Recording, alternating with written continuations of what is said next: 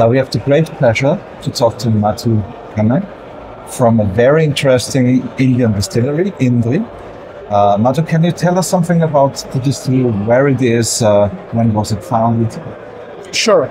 Um, good day, and it's uh, happy to be at the Nuremberg Whiskey Festival and to catch up with the whiskey expert team over here. Um, this distillery is called as Piccadilly, and uh, this distillery was set up in the year 2012 when it actually became functioning. Um, the distillery is located in the northern part of India. Uh, from Delhi towards uh, Punjab, when you travel on the Grand Trunk Road, uh, which has been an exchange route for thousands of years, um, the distillery is located a few miles off the Grand Trunk Road.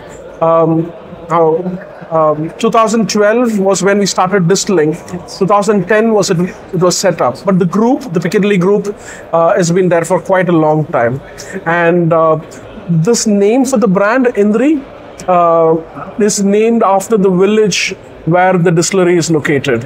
Uh, it also means uh, five senses in Sanskrit, which is the Indian language. So, and what's your capacity? How much whiskey do you produce? Um, we, we are happy to say that we are the largest independent uh, malt manufacturers in India. Uh, we can produce up to 12,000 liters every day. And annually, if we run to a full capacity, we can bottle up to 1.4 million liters.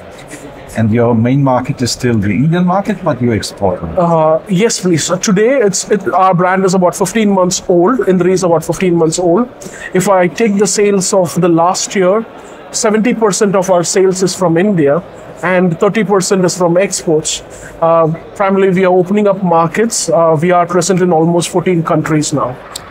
And uh, your master distiller is a legend in India, is it? Yes, yes. Um, we are happy to say that our master distiller is Mr. Surendra Kumar.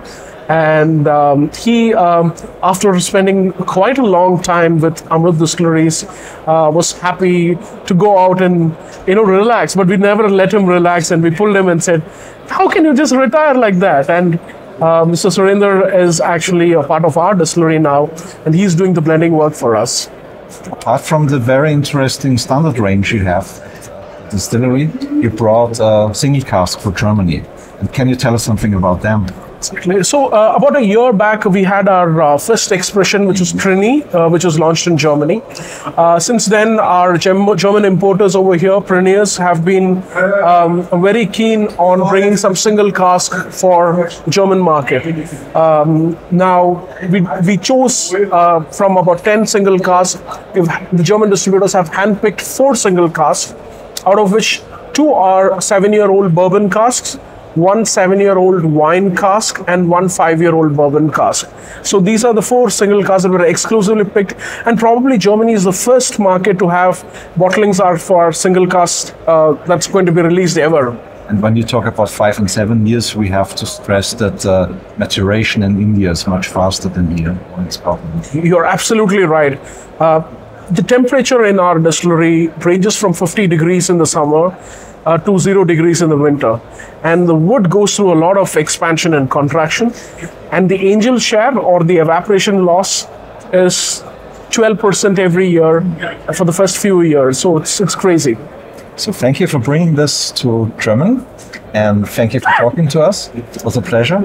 Madhu, have a great time here in, in Nuremberg and see you again soon. Thank you so much uh, for having me as a part of you and uh, look forward to bringing in more nice expressions to Germany and uh, meeting you again. Thank you so much.